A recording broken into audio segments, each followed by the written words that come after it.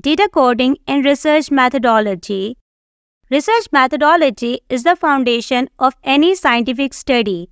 It gives us a structured way to gather, sort, and make sense of data so we can draw meaningful conclusions. One critical step in research is called data coding. In this video, we will learn what data coding is, why it matters, and provide examples to show how it's used in research. What is a data coding? Data coding is the act of converting unstructured data into a more manageable and structured format so that researchers may find themes, patterns, and relationships in their data. It includes giving different pieces of information labels or codes based on categories or criteria that have already been set. These codes facilitate the organization and interpretation of data by serving as a link between the raw data and the analytical phase of the research process. Types of data coding Coded data can be analyzed by statistical software and other tools. There are different types of data coding like number 1 nominal coding. This is like giving data labels or categories. For example, if we ask people about their marital status, we could code single as 1, married as 2, divorced as 3, and widowed as 4. Number 2. Ordinal coding. This is when we put data into categories with a specific order. Let's say we are asking people how satisfied they are. We might quote very dissatisfied as 1, frustrated as 2, neutral as 3, satisfied as 4, and very satisfied as 5.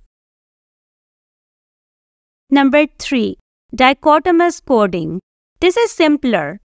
It's like saying yes, 1 or no, 0. For example, if we are asking about gender, we could quote male as 0 and female as 1. Number 4. Numeric coding. This is when we use numbers for data. For example, if we are asking about age groups, we might quote 18 to 24 years old as 1, 25 to 34 years old as 2, 35 to 44 years old as 3, and so on. Number 5. Derived variables. This means we create new stuff based on the data we already have. Like we might find the average scores for a bunch of survey questions or make a new thing by adding up other stuff. Number 6. Truncation. This is like chopping off part of a data number. For example, instead of saying 12.23 or 12.47, we might just keep 23 or 47. It's handy when people are doing the math themselves. What are the implications of data coding? Data reduction. When you have lots of data, coding makes it shorter and simpler. This makes it way easier to study large sets of data. Data organization. Coding helps you put similar information together in an organized way.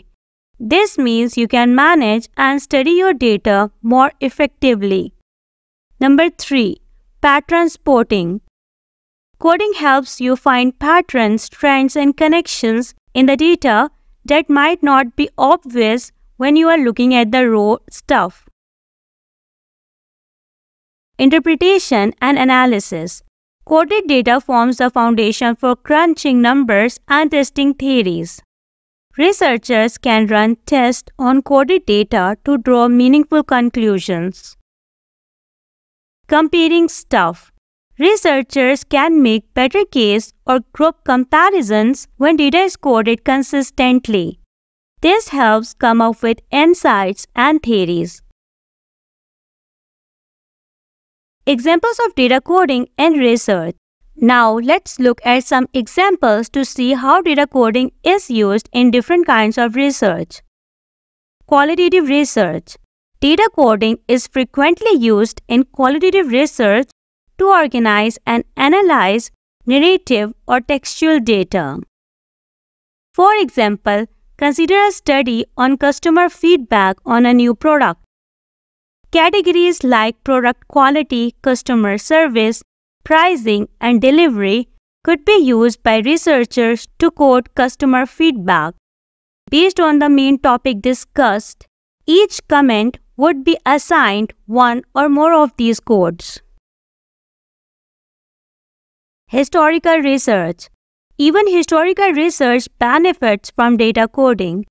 Themes, key events, and time periods can all be used by historians to assign codes to historical texts.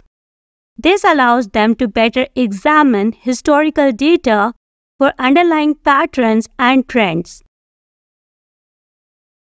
Survey research. Coding and survey research can involve assigning numeric values to Likert scale responses. For example, in a survey on job satisfaction, responses such as strongly disagree might be coded as 1, strongly agree as 5, agree as 4, neutral as 3, and disagree as 2. These scores allow for quantitative analysis of survey data. Content analysis Textual or visual content such as news stories or social media posts is often coded into predefined categories for content analysis. For example, in a study about news articles on climate change, you could code articles as supportive of climate change neutral, or skeptical of climate change. This helps you see how different ideas are presented in the media. Medical research. In medicines, coding might involve sorting patients' data into categories based on symptoms, medical history, or test results. This helps researchers figure out which treatments work best for different conditions. Conclusion Data coding is like a super useful tool that makes research better. Whether you are doing qualitative or quantitative research, coding helps you turn raw data into smart insights. It's like sorting and organizing data, helping you discover hidden patterns, draw conclusions backed by evidence, and add to what we know in your field. Thank you for watching this video.